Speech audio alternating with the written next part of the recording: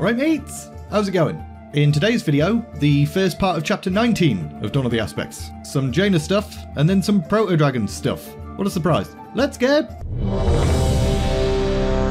Jaina had now been trying to figure out a way to undo the spell work on her books for quite a while, and she was getting kind of sick and tired of it. She was now seriously considering using stronger measures, but she didn't want to attract Archmage Modera or anyone else's attention, and then have to deal with Dalaran's stuff.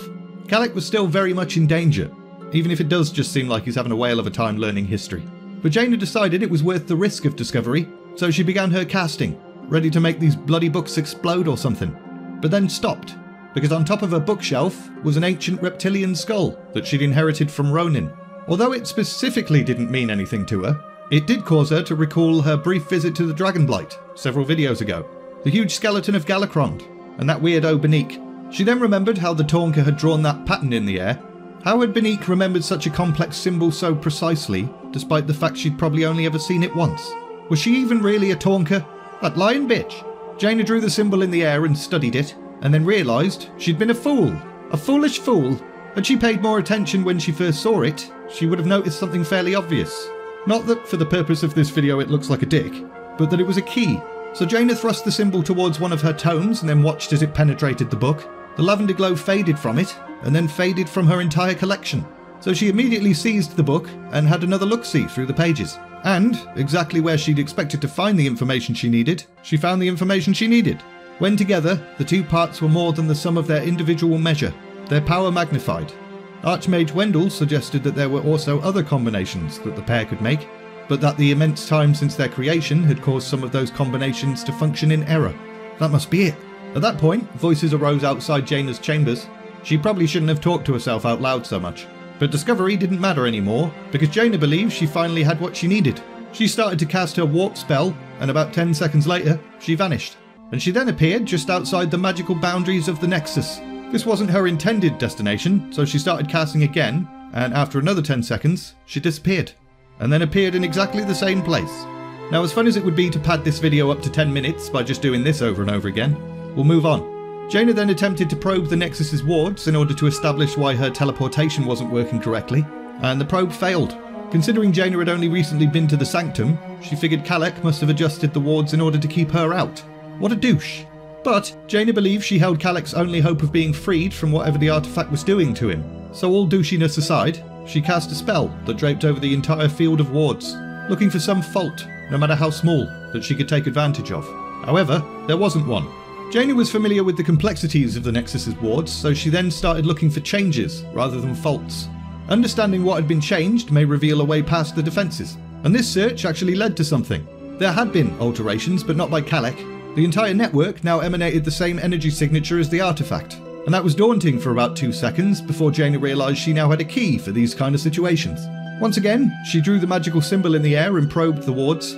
The artifact's influence on the area faded, so Jaina probed a little bit harder and faster, However, the energy signature then reconstructed itself and rejected the key, and the force at which it reversed matters struck Jaina's mind hard and gave her a bit of a headache. It was interesting though. The artifact's magic had not been acting with any particular malice. It wasn't personally attacking the Archmage, it was simply repairing itself. It was time to find out whether this spell work had limits. So Jaina recreated the symbol again, and again, and again, until she was absolutely surrounded by magical symbols. Let's see how you like these apples. She sent her army of glowing willies into the air. They hovered for a second and then spread out, circling the whole of the Nexus and its protective wards. Once each was in position, Jaina took one last look at how the wards were arranged, and then sent her massive dicks hurtling towards it. And as they touched the wards, the Nexus erupted in an explosion of white and lavender energy. Meanwhile, back in the past, the five proto-dragons landed on a bunch of ridges. They were exhausted. For several minutes, they simply crouched where they perched and all remained deep in thought, the devastation caused by Galakrond had begun to sink in, and the fact that they seemed to be the only ones left fit to face him. The mountain wind howled, but Malygos heard another sound mixed in with it, but as he listened for it to happen again, there was nothing. However, the icy blue noticed that Ysera also appeared to be listening. She must have heard it too. And after a while, there was another brief sound. Malygos recognized it the second time, the mournful hiss of a proto-dragon. Ysera flew off towards it, and Malygos followed, the others, who had apparently not heard the sound, decided to pursue anyway. The yellowish female flew into a shadowed area between two mountains and then seemingly vanished. Malygos slowed slightly and then entered the shadows as well.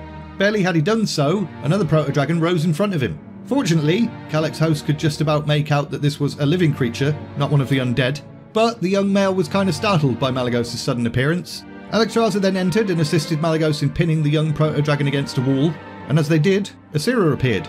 No, he was just scared. Let him go. The captured male frantically looked at Malygos and Ysera, and then made like a duh sound, which helped Malygos to realise this was one of the lesser proto-dragons, one that had not quite made the leap to intelligence yet.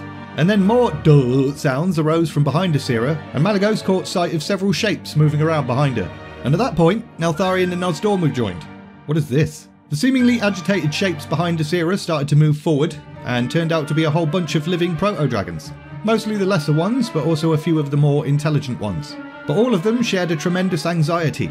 Malygos knew that he'd seen some of them as part of Talonix's doomed charge, but based on how terrified they all were, he concluded they'd probably all been there. Galakrond comes! Galakrond comes! No, he doesn't. Quiet. The assembled survivors quieted, but only out of a more immediate fear of Neltharion.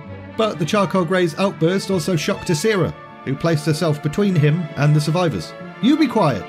Neltharion was a little bit taken aback by that, so he clamped his mouth shut and backed away, and Ysera then turned back towards the shivering proto-dragons.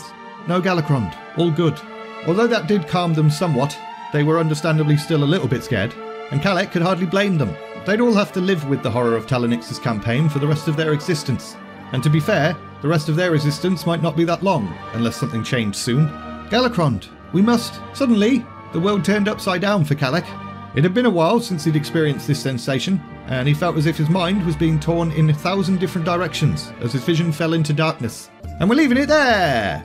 Don't worry, Kalec's not going to wake up back at the Nexus and then just complain for five minutes. We'll find out what the bloody hell's going on with him in the next video. As usual, link in the description if you're interested in buying the book. Also, there's links to my Discord server and my Patreon page too. If you enjoyed this video, like, subscribe, all of that bollocks. And all that's left to say is, thanks for watching, and see ya!